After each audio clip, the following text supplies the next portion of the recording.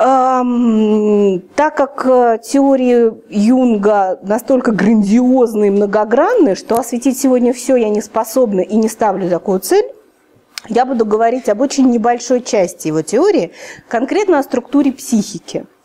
Я буду говорить об основных архетипах, об эго, персоне, тени, аниме, анимусе и самости.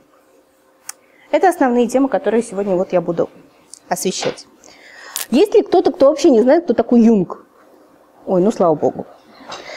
Швейцарский психиатр, он очень долго сотрудничал с Фрейдом, был даже первым председателем, первым президентом Международного психоаналитического сообщества. Но в какой-то момент он пришел к тому, что идеи Фрейда его не удовлетворяют, что психоанализа недостаточно, э, нужно идти глубже, нужно идти дальше. Фрейд с ним совершенно на этот счет не согласился, у них произошел разрыв, Э, Юнг отказался от метода психоанализа. Он э, ушел со всех официальных должностей, которые в тот момент занимал, и разработал и разрабатывал всю жизнь аналитическую теорию. В чем, собственно, принципиальная разница была между Фрейдом и Юнгом?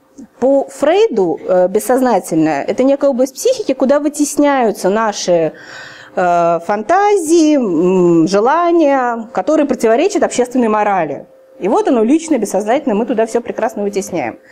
Юнг в процессе работы с своими клиентами пришел к выводу, что отлично, мы проанализировали детство, мы все там узнали, а, вот полностью до конца симптом не исчез. Или там содержимое, которое вскрывается намного глубже, больше, шире, чем личное бессознательное. Этого человек переживать никак не мог, ни в детстве, нигде. Но это почему-то есть в его психике. И Юнг делает вывод о том, что существует не просто личное бессознательное, существует семейное бессознательное, бессознательное рода, нации и бессознательное всего человечества, которое называет коллективное бессознательное. Оно наполнено некими формами, э, паттернами поведения, которые называются архетипы, э, которые представлены в мифологии, в религии, с которыми вообще очень сложно как-то взаимодействовать и быть. Но я попробую немножко об этом рассказать. Что такое архетип? Архетип – это некая устойчивая форма поведения, опять-таки сценарий. Форма, э, похожая на, может быть, сухое русло реки, что-то такое намеченное, который наполняется, оживает в процессе жизни человека. Он наполняется личным жизненным опытом. У каждого из вас, когда я скажу слово «мама», есть образ э, своей собственной мамы в голове, картинка, и некое представление о том, какая должна быть мама. Ну, что ассоциируется с матерью? Да, там, добрая, заботящаяся, кормящая. Может быть, кому-то не так повезло с мамой. Отвергающая, холодная. Это все описывает архетип Великой Матери. Некое такое представление о матери, которое одинаковое у всех народов, независимо от расы, от пола. Это и есть архетип. А, проявляются архетипы в жизни человека в виде комплексов. Комплекс – это такое психическое образование, а, которое есть в личной психике человека, бессознательном. Какие-то комплексы прорываются в сознание. А, комплекс состоит из архетипа, в основе комплекса, в центре комплекса, и личного жизненного опыта, который Юнг называет травмой, ну, травматического опыта, потому что считается, что все, что мы переживаем, это как бы такая травма. Например, я расскажу вам о комплексе мертвой матери, а, поскольку он так очень хорошо описан. Когда ребенок рождается, очень часто, не очень часто, извините, когда ребенок рождается, случается, что мать пребывает в глубочайшей депрессии. Она функционально выполняет свои обязанности по отношению к ребенку, кормит, заботится, переодевает, но эмоционально она не здесь. Она погружена в свои там потерю личной свободы, отношения э, с супругом плохие, неважно во что. Она в депрессии, и ребенок не имеет с ней никакого контакта, младенец. Младенца не отражает материнский взгляд.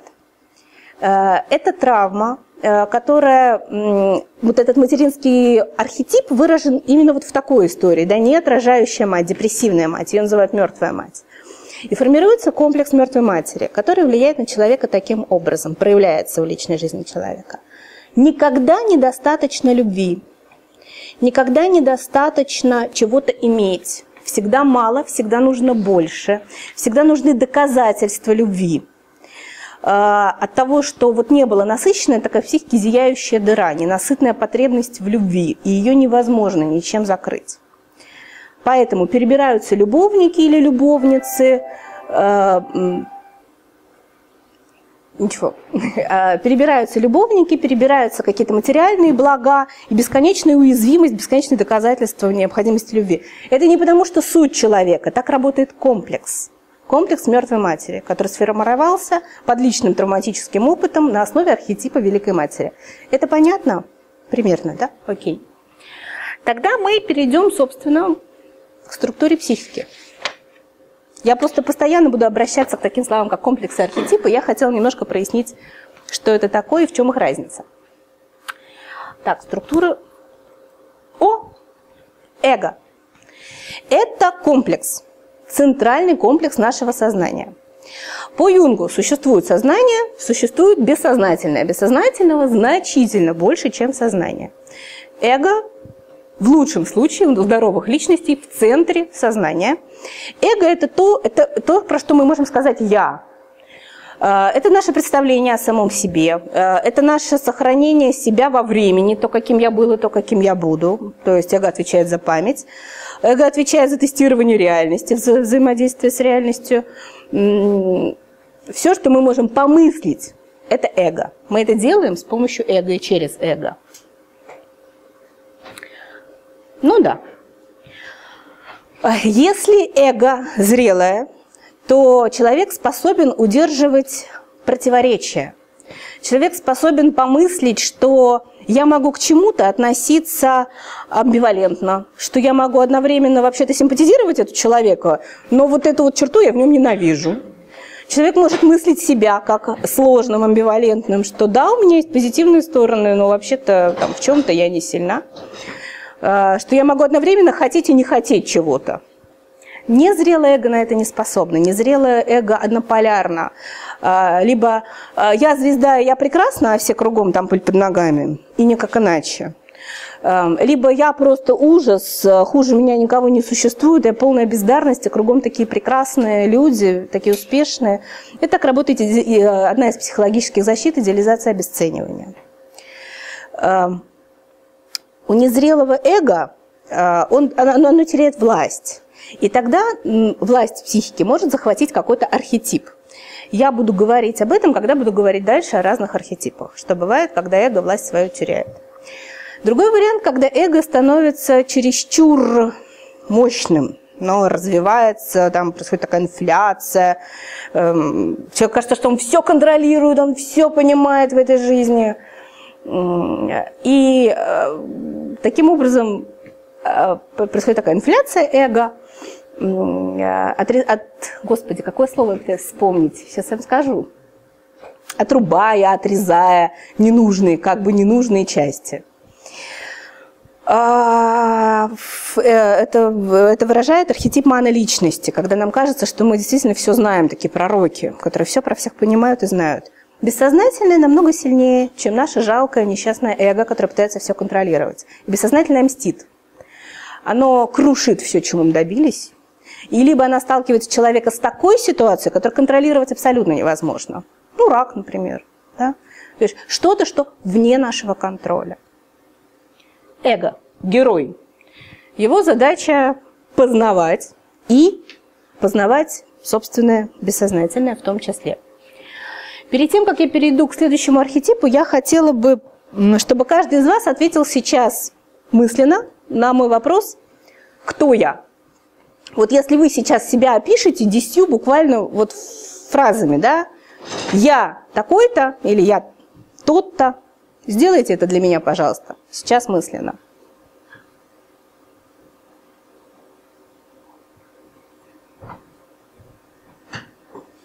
Допустим, да. Нет, не та кнопка. Сейчас. Персона. Это следующий архетип.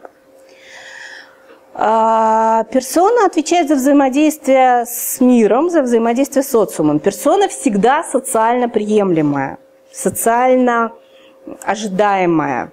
Если персона не а, как бы девиантная, как бы вот э, выбивающаяся, она все равно будет приемлема в, другой, э, в другом социуме. То есть она разработана для того, чтобы манифестировать себя как-то в мир, показывать себя, предъявлять, но и защищать себя от мира. Что у нас происходит с персоной? Вот те слова, которые вы сейчас про себя думали. Я мама, я дочка, э, я любовница, я жена. Это про социальные роли, про персоны. Эм, я работник, там, я такой-то профессии, я такой-то возраст. Это про персону. У меня такая-то должность, у меня такой-то там еще. Очень-очень много про персону. Что же тогда остается я? Кто я? Вот за, без персоны я тогда кто? И очень важно различать, когда персона есть и когда персона нет. Если персона растается с эго, это известное явление под профессиональной деформацией, да, когда там начальники приходят домой и считают, что мы им тоже все должны подчиняться. А они возражают. И нельзя иметь чужое мнение. Э, если нет персоны, если персона очень слабая, то человек ощущает себя как будто без кожи. Он очень уязвим.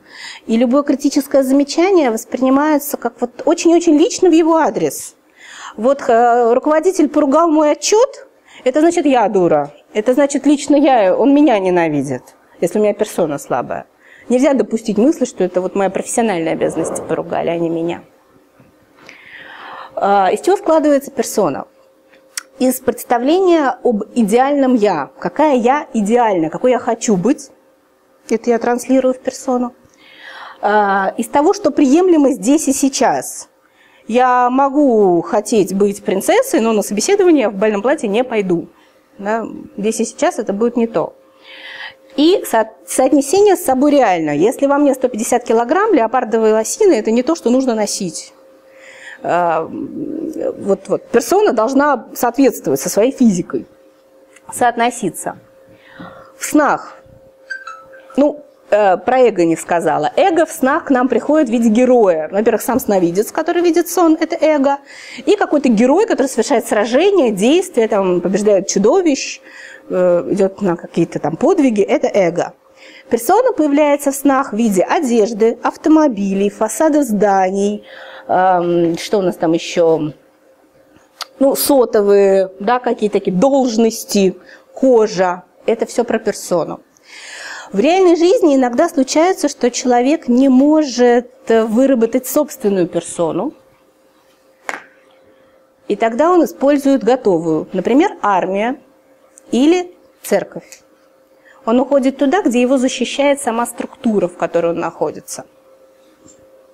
Про персону понятно? Окей. Следующий архетип.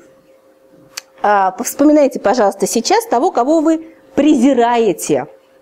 Если у вас в жизни такой враг, вот, вот, вот этих вот вы точно фу. Да? Какие качества, может быть, вы вот фу. Сейчас мы с ним встретимся. Ну-ка. Ну как же плохо его видно. Это тень, поэтому его так плохо видно. Это архетип тени. Она прям противоположна персоне. Тень – это тот архетип, в, который вы, э, в котором находятся неприемлемые для нас установки, которые противоречат... Девушки, вы мне мешаете ужасно. Э, э, те установки, которые мешают моему собственному представлению о самой себе. Может, они не такие уж ужасные в обществе. Но я считаю, что я не такая. Вот это точно моя тень. Вот то, что я про себя так думаю. И то, что мы презираем в другом, это моя тень.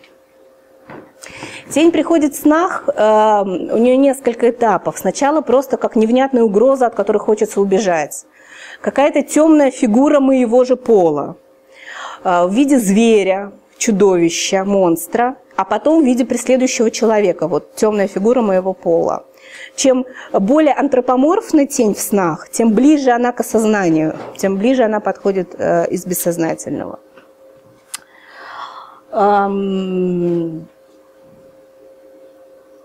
Как, как справляться с тенью? Есть такая прекрасная мантра. Это тоже я. Да, и я так тоже могла бы поступить в каких-то обстоятельствах. Тогда мы не усиливаем тень, не отталкиваем ее, а как-то с ней взаимодействуем. А, хорошо. Переходим к самому сложному для меня куску. У нас осталось не так много архетипов, и прошло половина времени. Анима. Про аниму. Сейчас вопрос для мужчин. Что вам нравится в женщинах? Вот какие качества сейчас вас в женщинах притягивают? Одно, два, три вот мысленно сейчас определите для себя. Какие, какого типа женщины вот прям ну нравится, нравится. А вот лет там 5, 7, 10 назад то же самое в женщинах нравилось? Или что-то другое? Угу. А кто выбирает себе женщин, похожих на мать? Ну вот есть такой миф, как бы, как будто бы вот мы женщин ищем похожих на мать. Мысленно подумали, теперь я возвращаюсь к аниме. Аниме – это женская часть мужской психики. А, она отвечает за эрос, за творчество, за чувствование. Анима отвечает за выбор партнера, того, кого мы выбираем в качестве возлюбленного. Это определяется э, для мужчины его анимой. Я сейчас попробую найти слова, что достаточно сложное э, объяснить, но я постараюсь. Наверное, я сама до конца не понимаю, поэтому мне так сложно. Э, бессознательное, потому и бессознательное, что помыслить его очень сложно, назвать его словом очень сложно, почувствовать можно. Бессознательное проявляет себя во снах, э, в грезах и в проекциях. То есть э, что-то, какое-то бессознательное содержимое вкладывается, проецируется на другого человека. И мы в нем это видим, но это, оно есть в нашем бессознательном, собственном бессознательном. Именно так работает влюбленность что ну, мне страсть как нравится, да, это вот наша анима. И поэтому на каком уровне развития находится наша анима, такого партнера мы себе и выбираем. Сейчас расскажу про уровни развития анимы. Инфантильная анима. А, ну, э, считается, что там мужчина родился, а анима изначально, она связана очень с родительскими образами, с родительскими ожиданиями, которые в нас складывают, материнскими, конкретно материнскими. Со временем, пока анима, мужчина взрослеет, если он взаимодействует со своей чувствующей частью, если он ее не отвергает, не подавляет свое чувствование, анима тоже растет вместе с ним. Э, и она постепенно отделяется от материнского образа, становится более женственной, более зрелой, ну и, соответственно, меняется то, что нравится в женщинах. Если мужчина ее подавляет, анима остается незрелой.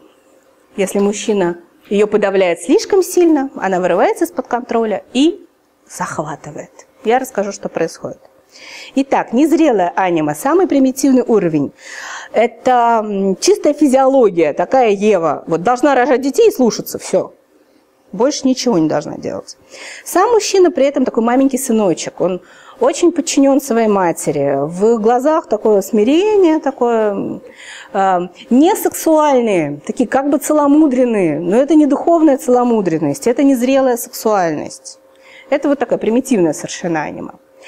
А, чуть там на шаг зрелее, да, анима такая Елена Троянская, которая уже привлекает, соблазняет и телом, и умом.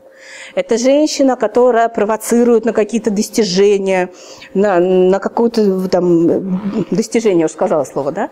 Э, такая вот анима. Уже появляется эрос в отношениях. Третья стадия э, развития анимы Мария, э, мать Мария, Мария Тереза когда сексуальное отделяется от духовное, когда отношение к женщине уже не, не чисто сексуализированное, а когда уже можно видеть женщину, воспринимать женщину как друга, как партнера. И самая высшая эм, э, стадия развития анимы – это духовность, чистая природа, чистая духовность, София, мудрость. Когда женщина – это духовный соратник в первую очередь. Когда происходит одержимость анимой, мужчина начинает себя вести как баба. Он капризничает, у него сегодня плохое настроение, вы не трогайте. Э, или, наоборот, у него сегодня прекрасное настроение, поэтому все должны веселиться вместе с ним. Анима – это настроение. И она капризна. Это инфантильные чувства. Это не то, что мужчина на самом деле чувствует. Это не его истинные чувства. Это его анима выпендривается сейчас. Если бы он дал себе труда остановиться и заглянуть внутрь себя, почему я сейчас такой, и поговорил бы со своей анимой, ну что ты уже хочешь, да? Где я лажаю? Что, что ты мне пытаешься сказать? А, то он бы вышел на свои собственные чувства, которые далеко не такие вот незрелые и инфантильные. С анимой закончила теперь. Есть ли вопросы про аниму? А, по Юнгу – да. Но сейчас постюнгианцы говорят о том, что э, анима есть и у женщины, а анимус есть и у мужчины. Угу. Как вторая называлась? Анимус, и сейчас я буду о нем говорить. Ну, это как бы обратная будет, зеркальная часть.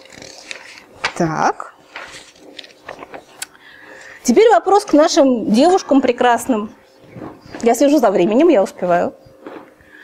А слушайте, а я вам аниму не показала. Карти... Я такую прекрасную картинку для нее нашла и не показала. Следующий будет анимус. Девушки, тот же вопрос. Что вам нравится у мужчины? Что притягивает? Одно, два, три качества. Для себя определите. Вот сейчас. Вот, вот это прям нравится. И что нравилось лет 10 назад? Что ценили тогда? Насколько ваш выбор похож на вашего отца? Как вы догадываетесь, когда похож, то это незрелый уровень. Да, то есть там ранний уровень развития анимы, женщина похожа на мать. Э, ранний уровень развития анимуса, э, мой мужчина похож на моего отца. Итак, анимус. Если анима представляет собой какие-то недоразвитые и неразвитые чувства, то анимус – это неразвитые убеждения – Анимус женщины – это ее логос, такой логика. Но, к сожалению, не ее личная. У женщины есть нормальная функция размышлять. Нормальная, когда я размышляю из себя, да, вот я делаю выводы какие-то, все окей. Анимус не это. Анимус – это установки, убеждения неких авторитетов, которые я подсобрала из всего такого пространства. И точно знаю, мой анимус знает, не я, анимус. Так, делать надо вот так и никак иначе. Вот это правильно, а по-другому нет. Без оснований, без тестирования. Вообще сейчас уместно в этой ситуации или нет такое говорить? Поэтому женщина, охваченная анимусом, очень много спорит яростно, атакует мужские какие-то принципы. Она возводит какой-то там логический, абсолютно незначимый аргумент э, в степень истины. Представляете, как она провоцирует мужчин? Вообще вот женщина, одержимая анимусом. Да, сейчас. Сейчас, сейчас, вам понравится. Это очень примитивный анимус на первой стадии. Э, конечно, соответственно, тоже отвечает за выбор партнера. А, только тело, физическая сила и защита. Это то, чего ищет от а, примитив, ну, женщины, которая анимус на примитивном уровне развития, на первом уровне развития. Мужчине, мужчине нужен такой спортсмен, качок-спортсмен, вот мы его ищем себе. А на втором стадии, а, но смотрите, при этом, сейчас, а,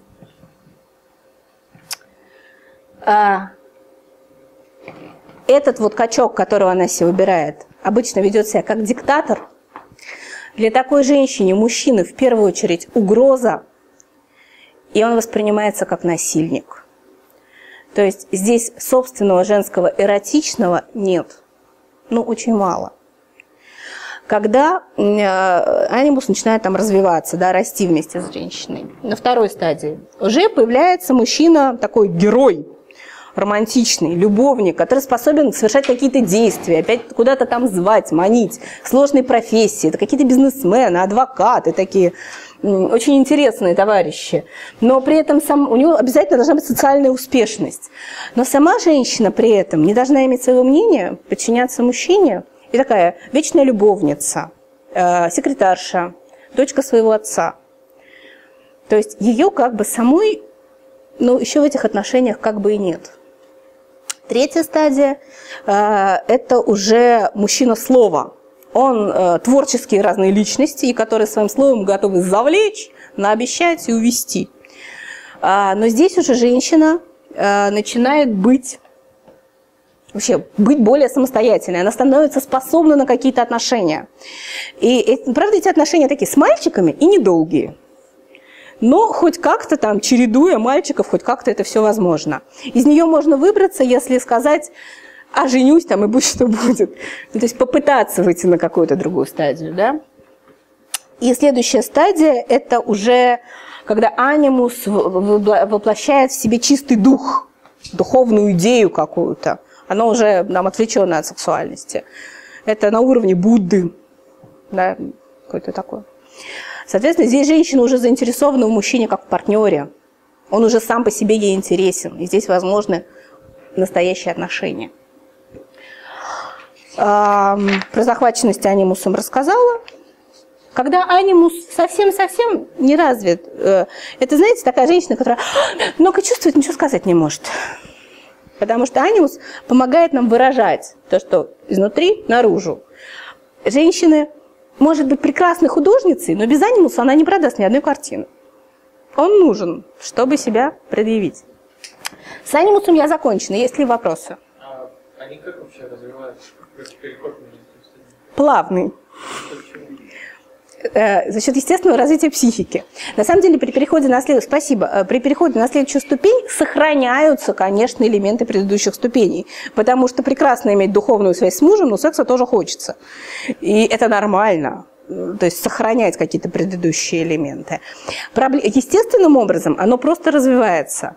Проблема наступает тогда, когда не развивается, когда подавляется. И это происходит либо под действием какого-то травматического события, ну, типа мама сказала, девочки так себя не ведут, вообще заткни свой рот и не смей говорить. Ну, например, да? Материнский анимус победил анимус девочки в символическом смысле. А, либо по каким-то еще личным, индиви, строго индивидуальным причинам происходит задержка. Ну, а развитие просто за счет уже нового. Да, в течение жизни. Человек, эго обращается внутрь себя, человек заглядывает в себя, я какой, для меня что важно.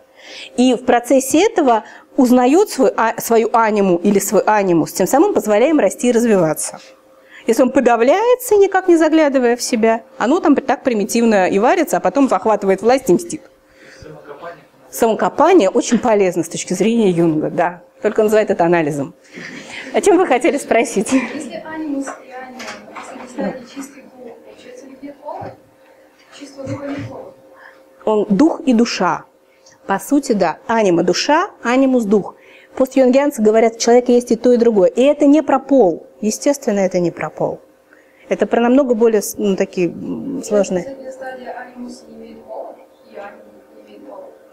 Ну, пола они не имеют изначально. Они не про пол, не про органы. Да. В стрессовой ситуации. Да, да. Регресс осознанный? Ну, регресс может произойти, а потом мы его можем осознать, что он произошел. Я сейчас, мне осталось совсем немножко вам рассказать, и мое время, собственно, подходит к концу. Я рассказываю уже 30 минут. Я возьму себе еще две минутки. А, После того, как мы прорвемся через это все, ну, опять не та кнопочка, мы можем встретить мудрого старца. Это еще более глубокая внутренняя фигура, которая нам, нам дает понятие смирения. Э, Мудрый старец говорит, что не все нам подвластно, дорогое эго, не все ты можешь контролировать, и не все вообще, и что-то ты не знаешь, и в чем-то ты не молодец. Ну, такой вот мудрый старец. Но там же стоит ловушка мана личности, который может взять и сказать, нет, я все знаю, я все контролирую, я все могу. И вот он не пустит вас в самость, мана личность. Его надо победить, отказавшись от всемогущества. Самость. Это самый... Я надеялась, что мне не хватит времени про нее рассказать. Это самый сложный, самый трудноопределяемый архетип, при этом он центральный архетип личности. Самость в литературе пишут иногда с маленькой буквы, иногда с большой буквы. Когда пишут с маленькой буквы, то это самость конкретного человека. А когда с большой, то это всеобщая самость. Вот все коллективное бессознательное – это самость. Но то же самое слово. Самость – это божественная искра в человеке. Самость – это то, что отделяет меня как индивидуума от другого. Самость – это некий божественный замысел. Самость – это то, что толкает, двигает меня в этой жизни. И Цель жизни каждого человека – реализовать свою самость. Но чтобы до нее добраться, надо спуститься вниз. Надо познакомиться со своей тенью, взять в качестве проводника свою аниму или анимус, дойти до мудрого старца, не поддаться мане личности и встретиться со своей самостью. Самость приходит во снах в виде нуминозных божественных образов. Она всегда сопровождается встреча с самостью двумя чувствами – страх и трепет. Вам снились такие сны? Наполненные ужасом, который выше человеческого переживания и трепетом. Он может выражаться в виде храма, э, камней каких-то, божественных фигур, естественно, волшебников. Это все, это все про самость. Что же вам еще сказать? Да все. Задача по Юнгу, задача человека, цель человека – совершить индивидуацию, пройти индивидуацию. Индивидуация – это когда эго встречается со своей, идет к своему самости, осознает самость и осознанно проживает свою жизнь, воплощая замысел самости. Это индивидуация. Не сказала только, как анима и анимус встречаются в снах а, э, в качестве человека, э, незнакомца противоположного пола. То есть для мужчины это будет девушка в снах незнакомая, это будет анима. Для женщины это незнакомый мужчина, это будет анимус. Это примерная схема, как это работает. Сознание, бессознательность, эго, центральный комплекс, персона, которая нас защищает, область тени, которая проходит на грани сознания и бессознательного, аниму и анимус. Это вот комплексы какие-то абстрактные, которые тут плавают, вот кружочки. Мудрый старец или моноличность, кому как повезет. Самость. Спасибо за внимание.